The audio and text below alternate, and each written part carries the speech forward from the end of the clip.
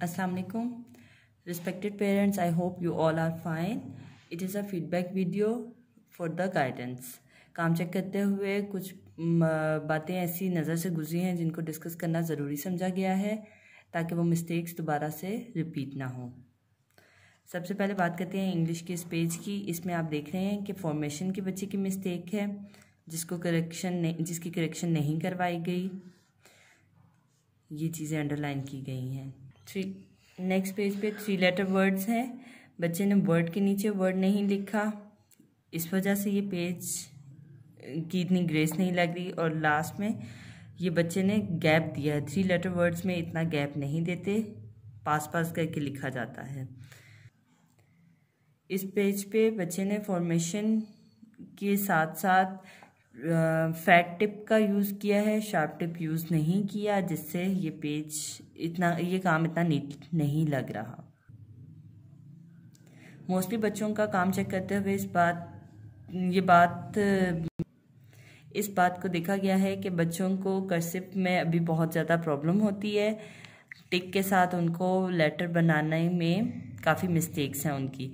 तो इसकी lot of practice की ज़रूरत है। लॉट ऑफ़ प्रैक्टिस आपकी रफ कॉपी पे चलेगी। जब बच्चा वहाँ पे नीटली काम करने लग जाए तो आप होमवर्क का पेज उसको काम करवाएँगे। नेक्स्ट होमवर्क कॉपी मैथ की। इसमें मोस्टली बच्चों ने वर्ड uh, को जो सा प्रॉपर फॉर्मेशन के साथ नहीं लिखा ब्लॉक में आ, पूरा नहीं लिखा छोटा भी लिखा है। फुल ब्लॉक में राइटिंग नहीं की या ओवर राइटिंग है। ब्लॉक से बाहर जा रहा है शेप सही नहीं है। तो इसके लिए एक पेज करेक्शन का रेडी किया गया है, जिसमें वन टू टेन तक काउंटिंग है।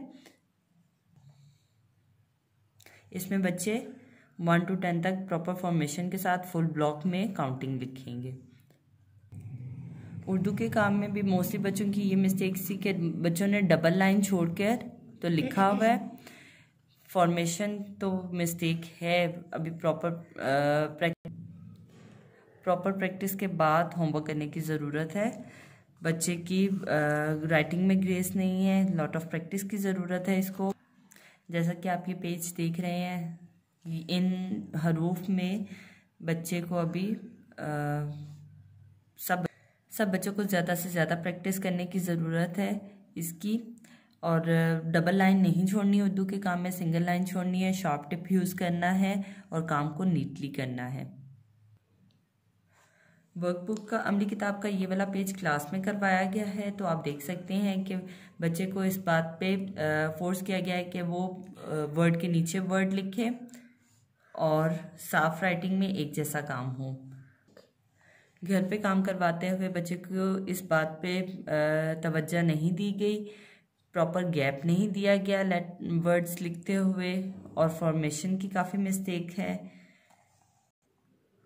मोस्टली काम पेरेंट्स ने जल्दी जल्दी में शायद लास्ट पे सबमिट करवाने के लिए बच्चों का काम खुद भी सॉल्व किया है, या बच्चों को ट्रेसिंग पे काम करवाया है। प्री टू लेवल पे ट्रेसिंग अलाउ नहीं है और बच्चा अपना काम खुद होमवर्क अपना कंप्लीट करे, ये काम बच्चों के लिए हैं, पेरेंट्स को लिखना आता है तो काइंडली इस बात को आप ध्यान रखें कि बच्चों को लिखने की ज़रूरत है खुद से।